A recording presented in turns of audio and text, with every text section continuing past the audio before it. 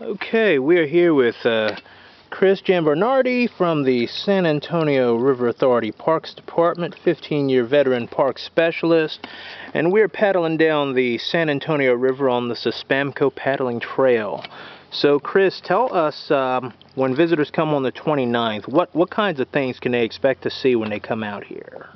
Oh, when they come along the river, you're going to see uh, all sorts of wildlife. A lot of the feral hogs like to come down on the banks. Uh, we've seen white-tailed deer. Uh, birders will enjoy the kingfishers and the herons that come along the shore.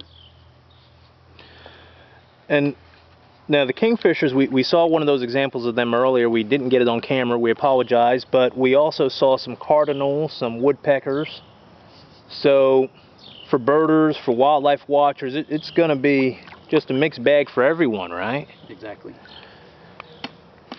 Now the conditions on the river today, you know, the river looks a little high from the rains that we had over the weekend. We're, we're very thankful for those rains. Um, we also have some log jams to, to think about. Um, what, what are some of the things of paddling this type of trail that people would have to watch out for with regard to log jams and that? Like you said, the log jams, uh, after rain event especially, the trees will wash down into the, the river and uh, they uh, cause these blockages sometimes and then the trash unfortunately builds up behind them. And what we try and do is just come along and make it passable so that everybody can enjoy the river.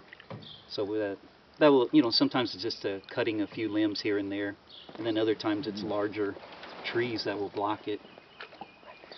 So with regard to with regard to the trash the uh, the river authority is um, on their 29th event in coordination with uh, National Public Lands Day, asking some of the visitors to take little tote sacks and pick up trash, right? Yes, sir.